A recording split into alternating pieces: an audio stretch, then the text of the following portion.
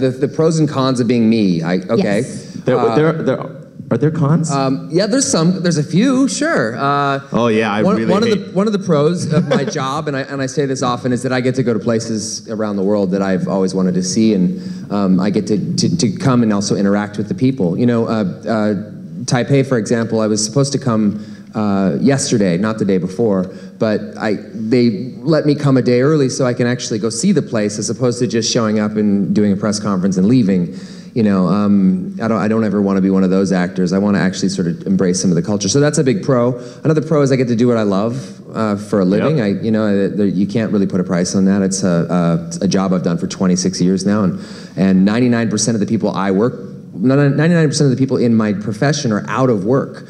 So 99% of my peers don't have jobs, and, and I, so I know how lucky I am to work in this industry, and I, I love it. Uh, another pro is uh, you could uh, cuss, cuss at work. I do get to cuss at work. Actually, that is that is true. I get to say whatever I, I like uh, when I'm shooting, but at home, uh, not so much. So this, the cons of uh, Ryan Reynolds are home based. Uh, no, no, I know. I love, No, I love kidding. that. I guess, I guess the biggest con is, is, is that you know sometimes you, you do this job. I have to, I have to travel a lot, and I Yeah, don't, I don't get to be home. home. I have a one-year-old baby at home, and uh, That's gotta I- be tough. I love her more than anything on earth, and it's yeah. So it's tough. It's tough being away from the family, and um, I would say another con is that sometimes it's a little. You know, you have to really kind of walk that line with the privacy issues and those sorts of things can be a little, you know, a little tricky. But I never want to complain about them because I know I hear other actors complain about that, and I just think, you know, man, 99% of the world would trade places with you in a heartbeat. No one wants to hear, you know, how you can't, you know, go to a grocery store. I think 99 would be an understatement. it might be yeah. 99.99. Or maybe, or maybe maybe less. I think that would be even more more hopeful. Um, so you know that, but that can be a little challenging sometimes, and um, I would say that's about it for cons. I, I'm sure the lucky. traveling is pretty tiring too sometimes. Yeah, the traveling's tiring, but it's also uh, wonderful. So yeah. Fantastic. Yeah, yeah.